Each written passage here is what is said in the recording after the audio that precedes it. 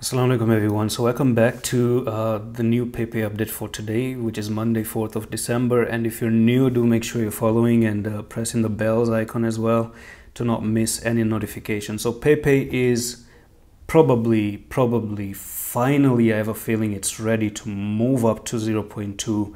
Uh, you know, this 2000 area, we're sitting at 14,000 and 20,000. Okay, so we may be looking at uh, a further move to the upside which is from there to there and we might possibly just see a 52% pump for Pepe okay?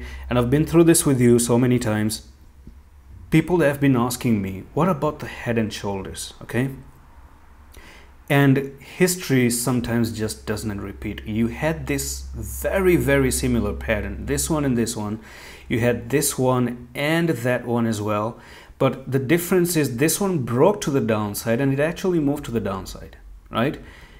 This one, however, never broke down to go down, but it actually broke up to the upside. And I've mentioned this so many times, so many, many times, even in yesterday's video that you're breaking above and we're just down right over here and telling you that, hey, that's your technical target. Now, the interesting thing is that you are finally breaking above or you're trying to break at least for today we really need to see how you break up today.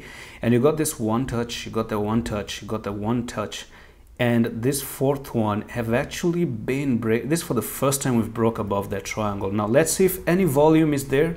If you do have a strong volume and a breakout that would mean something. But unfortunately the volume isn't really there. You, you, you can see that there's no any damn volume down there even though you're trying to break above but the volume is not really there 16 hours more left and in 16 hours we're going to see how this candle really closes. And it's going to be important that you get to see how the candle closes in the next 16 hours because this is a daily candle and it's just a break so we still need more time for confirmation maybe a day or two uh, in the next one or two days we're going to get to know if you break above come for the retest and then boom you push all the way up to 0.2 and you get that 52% bucks in your in your pocket right? Now it's actually very possible how the market is looking how bitcoin is breaking.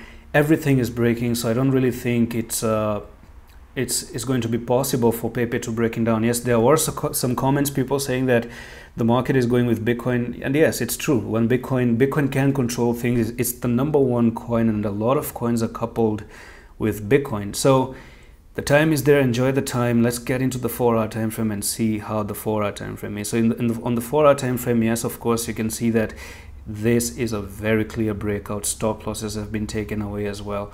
And right now i finally have a feeling that this is it. You know this may be it. This is the break that we've been waiting for probably since uh, you know back in may and today's december. So it's been almost seven months of waiting and after seven months finally that's one break one huge break. And i finally have a feeling that you know what? Yeah we might see that 52% coming in without any shadow of doubt. So if you're new to the channel, do make sure you're pressing the bell uh, to get all the notifications that I do on a daily, regular basis on Pepe. And I'm going to see you with the next one. Allah Hafiz.